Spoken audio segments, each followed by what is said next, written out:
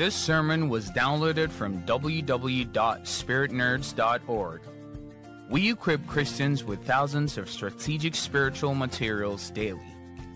Join millions of Christians around the world who have come to Spirit Nerds to learn about God and His Word today. When you find someone that has the backing of heaven, when you find someone that the situations that the devil, other people uh, accommodate him as a springboard to lift him up, then you realize that such a person is well ordered, is in accurate alignment with the systems that propel destiny. He knows something more than what is natural. And that is why he has the powers of the unseen realm safeguarding and projecting his possibilities. A lot of people are careless about the issues of authority. But they do not understand that it is the bedrock of advancement, of upliftment, is the bedrock upon which you can actually break through and succeed. What authority does is that he hides you and he reveals another. And in spiritual warfare, before you fight, you will need to hide yourself so that the one under whose authority you are functioning can show through your theater. There are many things that you, as you, cannot contend with successfully.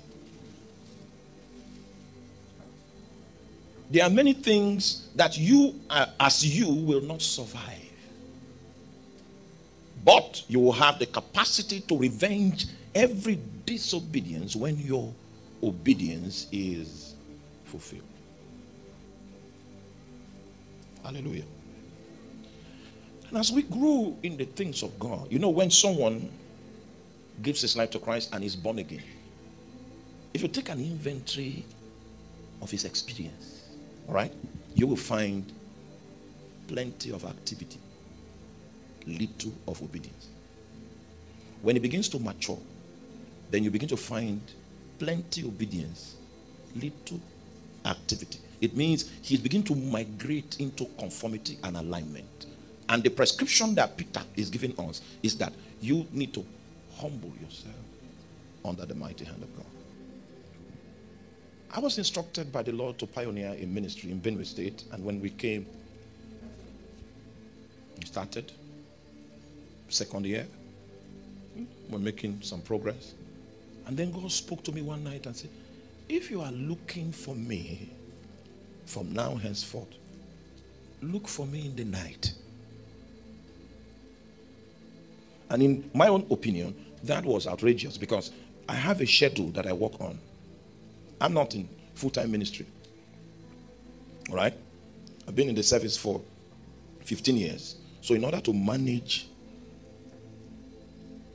public service, manage ministry, manage family, manage business, I have my schedule, and it is in my interest to sleep in the night.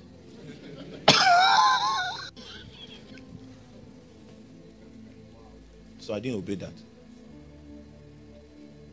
I said, Oh, this matter, you know, it can't work.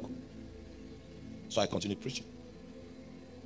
And I was making progress based on my own estimation until one day after preaching, I came down from the pulpit I went back home and half of my body paralyzed. I said,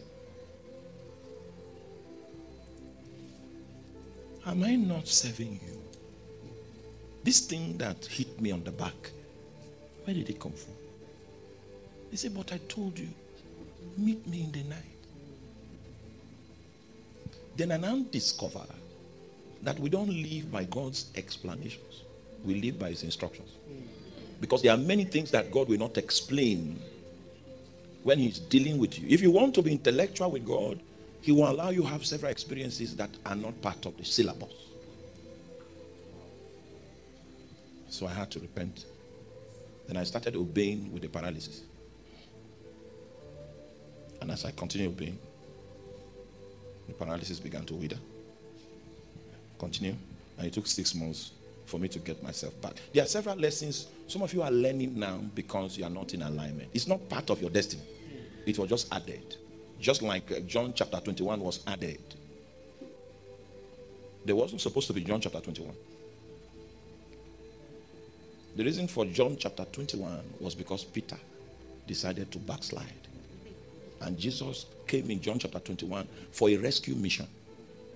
It is not part of the thesis. In fact, they had sent the, the manuscript of the printers before Peter now brought that dimension. They had to retrieve it from the printers to include this episode. Are you with me? There are many of us that are in John chapter 21 now because of lack of alignment with spiritual authority. And that John chapter 21 is not part of the thesis. May you not spend so long a time in John 21. That is a strong prayer. okay, you did. Okay, okay. You're, you're on soft mode. I, I believe your quiet amen came from the depth. That was why utterance was, was, was difficult. You will be wasting time if you are not aligned. All the activities you'll be doing will not strike a chord anywhere because your life in the spirit is a story that God is telling from heaven. If you are in alignment, that story goes out. Just like Jesus was a theater for the expression of another because he was submitted to his authority. Every time you come out of alignment, the story stops. When last was God able to continue his tale through your vessel?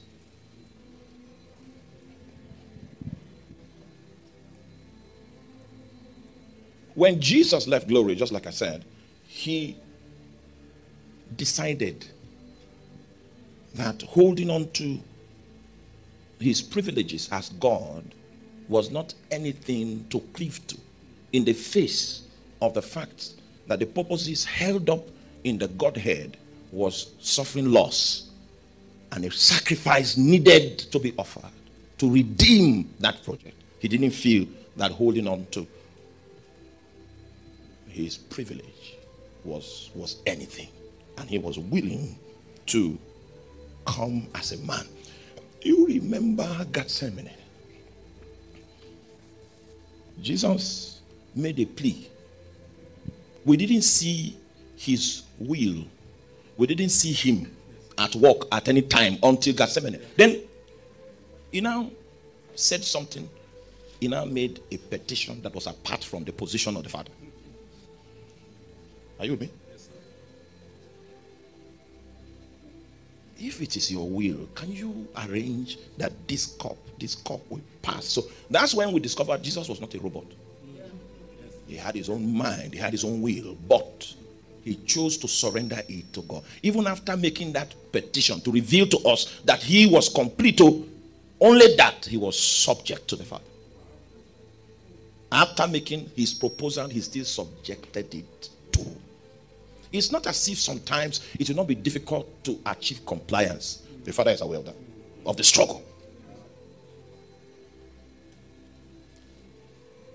But if you want to position your destiny in such a way that it will not be subject to assault, you must be running an errand for someone that is higher than yourself. My uncle was the training manager in First Bank. He is in charge of recruitment. He said I should apply. I prayed about it, and God says, I have no place for you in the banking sector. However, are you with me? Yes, if I refuse to apply, he is going to go to my mom, go to everybody, and say, Be foolish. You are not serious. You are worthless. Because when I delayed, he had already gone round. So I now applied. I went back to the place of prayer and said, Lord, make it impossible for this man to give me a job. I applied to fulfill all righteousness, to deliver myself from some attacks that are not part of, they are not necessary to the fulfillment of the plan of God for my life. After applying, I went back to pray to ask God to make him impotent in this matter. You have to be crazy to be praying that a job should not come out for you when you don't have another one. At the end of the day, my uncle could not employ me. So the whole talk stopped. And I went back to God and said, ah, Unemployment was coming and you rejected it. May I know the plan you have? You know this prayer point took one year. And during the course of this one year, there were many things that came up that he said, I, am not in that thing, no, I'm not in it. One year of prayer and fasting. I spent the whole year praying. I, I will eat sometimes 11 in the night, 9 in the night. Sometimes I don't eat at all. And it was like that for one year. I became as slim as that was when HIV was reigning. I, they, they thought I was. I was a victim. Many times I asked my wife, because I was like that when I proposed to her, why did you accept? I was I, I, I, I was checking my archives and I saw how I was looking. Jesus. Why did you by what means did you accept this proposal? When I the fasting had had taken me out. That is the kind of labor you will labor to be in alignment. And if you achieve that, you'll be exalted in due time. And when that exaltation comes, when somebody now comes to fight you upon that exaltation, you don't even have a fight. You will see how God deals with people. Because you are a son of order. So Jesus modeled the principle of obedience in keeping with humbling yourself under the mighty hand of God. These are the things God spoke to me. Okay? He says Satan laughs when a rebellious person preaches the word. For in that person dwells the satanic principle of rebellion. A rebellious man's work is referred to as strange fire. It originates from man and does not require knowing the will of God or obeying the authority of God. So rebellion comes from the heart of the fallen nature. So someone might claim to be doing God's work with that principle. Satan laughs at him. Because everything that person is doing is actually doing God's work Satan's way. Now, you see, the issue of authority Everything that comes from that realm comes with it, an authority ticket. Because the true custodian of authority is God. He delegates us with authority. The proof that we are sent is that we have clearance to do what we do. And when we come under opposition, that's when your authority is tested. God Himself will announce you to demons and to men because you are accurate. Because what you are doing, you are not doing it because it's what you want to do. You are doing it because it is what God wants done. I got feedback some time ago. I got feedback. There was an attempt. Um, what do they call it? They took some of our names to a shrine to employ satanic power to bring us injury. And my name was on the list. Hallelujah. The thing that I did for which my name entered that list, I did in the service to my God. And so when the name arrived at the place of the formulation of injury, the, the contractor was injured. Mm. He was injured. Hallelujah. And then the person that brought the contract he came under the threat of death and had to confess so that he will live.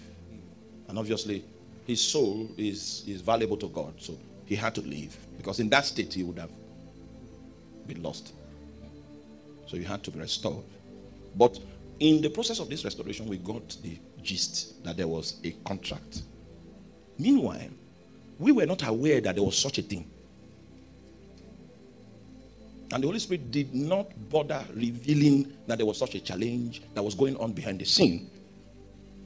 But you see, when you are in alignment, when you are under authority, the security structure that that that governs your life, that protects your life, is operational whether you are aware or not, because authority is not emotion.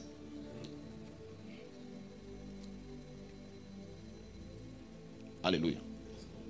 One of the ways by which it will be confirmed that you're operating in alignment is when the devil shows up. And if God comes to your rescue, it means you didn't send yourself. And it is critical for us to know that we are our lives and destiny, our families are operating under the mighty hand of God. You, you became saved through faith. Living in the saved realm is by obedience. So, authority is critical in the administration of your destiny.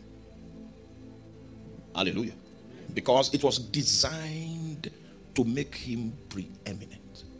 And in the book of Ephesians, the Bible says the place where his throne is in heaven. Hallelujah. Happens to be the highest topography of heaven. And the reason for that is God designed that he should feel all things. That is the reason for pitching his throne in a high place. There's nothing higher than where his throne is because everything is supposed to reflect him. And that reflection will only take place when you are aligned with his authority. And so, according to Paul, living in this realm is living Christ. And that possibility is tied to our operating under his authority, waiting to receive instruction. There is no, you are not mobilized for activity if he has not spoken. You are not mobilized. You say, Oh, I'm praying for direction. That's good business. Stay there until the great monarch of Zion begins to whisper. He doesn't speak anyhow. Because the first time he used words in the book of Genesis, he used it for creation.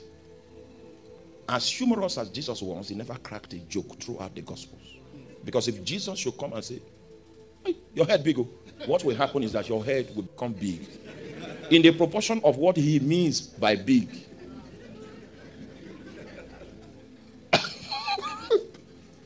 when the scripture says God is not a man that he should lie, neither is he a son of man that he should repent. He, he, he's, not, he's not saying that God is so decent, even though he can lie uh, he refrains from lying because of his nature. No. He's saying that God operates on an energy level such that anything he says becomes true. And he doesn't repent, he doesn't need to repent, he doesn't need to reframe it. Now, so the, the, the way the way his words, the way he uses words, different from the way we use words. We use words for communication. He can use words. He used the first time he used it, creation. Other times is for rulership. Because God doesn't need to stand up from his throne, he rules by decrees. Wait for the decree of your own life. Wait, it's, it's good business. If you are going to be secure in your advancement, you say, Oh, I have all the papers, I have all the qualifications. Uh, get feedback. Because the story of your life is the expression of his will. That's the story of your life. Not the expression of your certificate, not the expression of your training. You might even be trained, you might be a technocrat in a particular field, and you might decide that you will not function there. So your life is supposed to be an expression of His will. So there was a deliberate design to ensure that in all things He must be preeminent. So the question is in your life, is it preeminent? Is it the one driving your life? If it's the one driving your life, you have authority to revenge every disobedience because your obedience is what? Is fulfilled. The moment I began to walk in rebellion to the instruction he gave, death started walking in me. The moment I now came and aligned myself, there was no need for prayer. The process of recovery began. And in six months' time, I was back.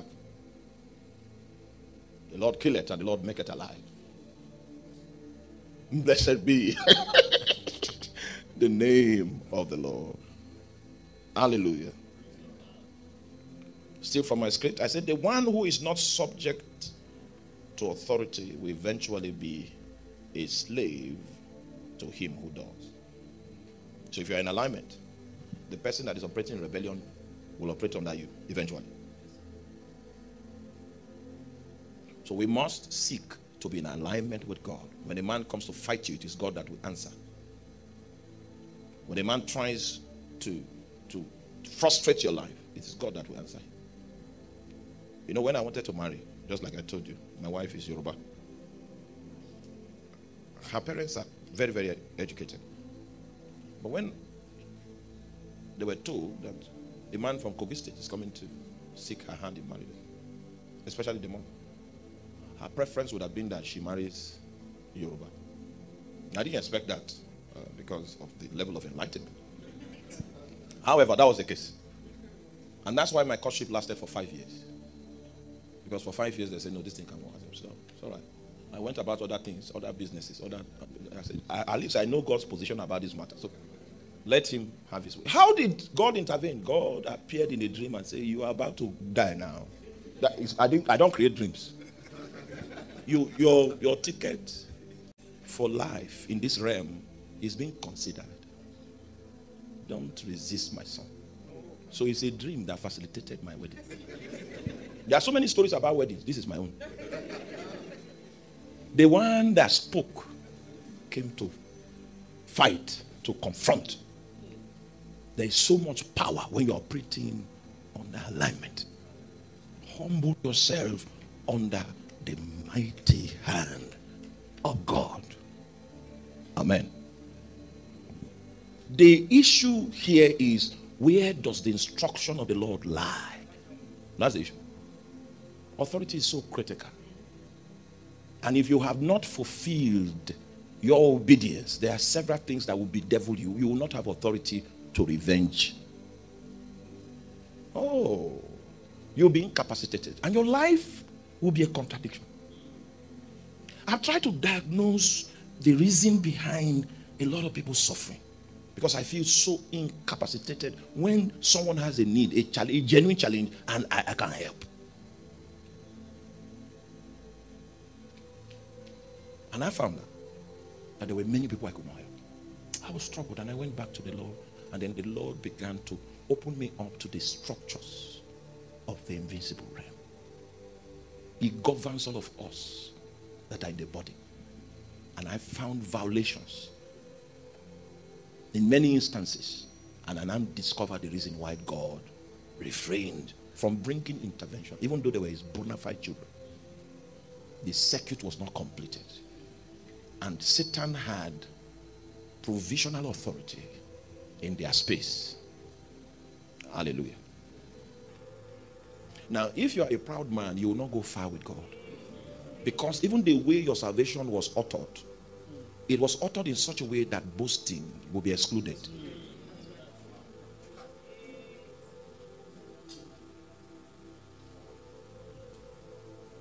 At the end of the day, it is not about your agenda. It's not about it is not about you. Because in the design, it was deliberately fitted so that he will be what? Preeminent. When we begin to function with spiritual authority and acknowledging ranks, then you begin to see a harmony that will build in the body of Christ, that will bring healing to our nation that is, is, is suffering from the issue of blood. Because the life of our nation is leaking out. It will take alignment. It will take, it will take that kind of strength that comes in the ecclesia, where joint supplies for us to redeem our nation. It will begin in the house of God. God will not operate outside of authority. In fact, in fact, one of the reasons why God's authority is in the center of his administration is because God will have to exert his authority in order for him to achieve his divine purpose. Now, the reason why an unbeliever, are you with me? That is somewhere now, maybe recovering from hangover from yesterday's bookie.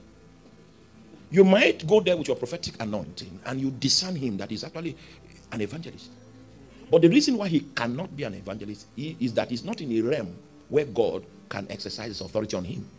And as long as that is the case, that ordination will never come to pass. Because if God will achieve his purpose, he must of necessity what?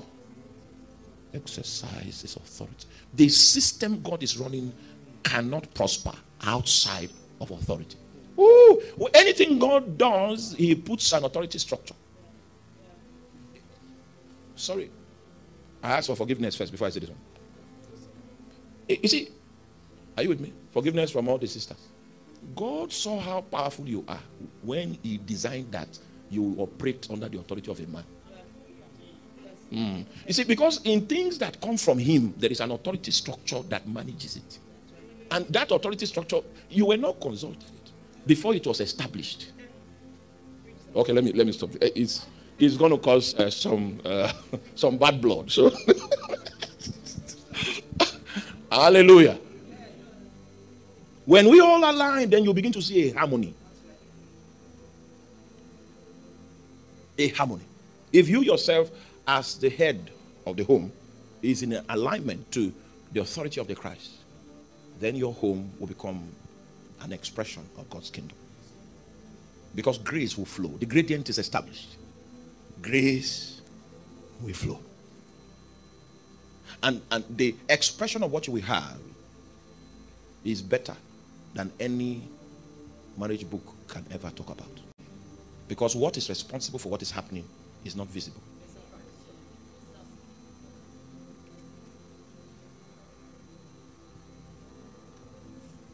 Job chapter 4. I have 10 more minutes to introduce the next point, which is spiritual experience. Job, sorry, 42, verse 5. Job 42, verse 5. This is Job's testimony. And this testimony is coming after a long time. You see, eh, somebody can summarize the result of 25 years' experience in one verse. He said, I have heard of thee by the hearing of the ear. Now my eye seeth thee. That is migrating from information to experience.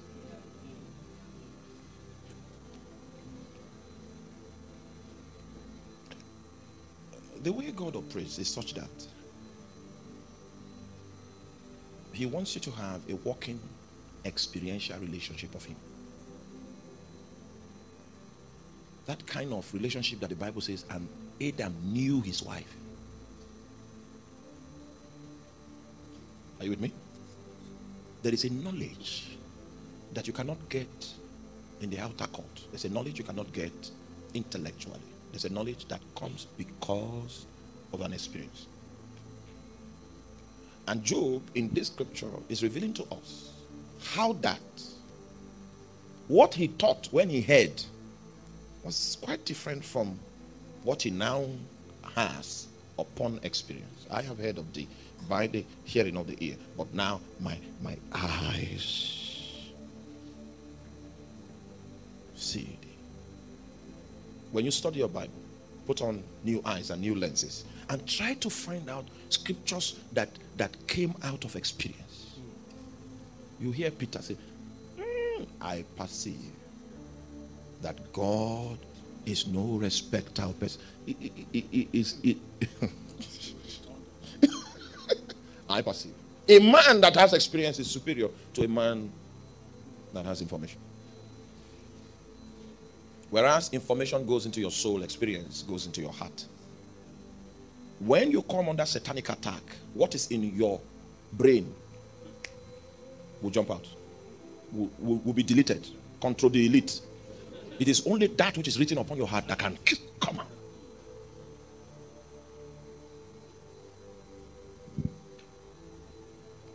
Sorry, I'm out of time. I would like us to pray quietly. Where we are seated, you don't need to stand up so that you don't just keep the gravity. Keep the gravity. Oh, my friend didn't come up today. My friend. Ah, you see, God wants to take us deeper. He wants us to know Him in the privacy of our heart. He wants us to understand how he thinks, the thoughts that he has towards us, the things that are going on in his mind concerning you. He wants you to be that theater through which men will give him worship, through which his memory will be locked on the hearts of men. You will be that platform to advertise his glory. There is a call to alignment, a call to compliance, a call, a call to submit under his authority. Humble yourself under the mighty hand of God, and he will exalt you in due time. Brukevadis kombahala. Embros combela, cumpelezinela, combra usketamina. Aí comantos cabarato minaseli combale. Baboria sila mahande comberala.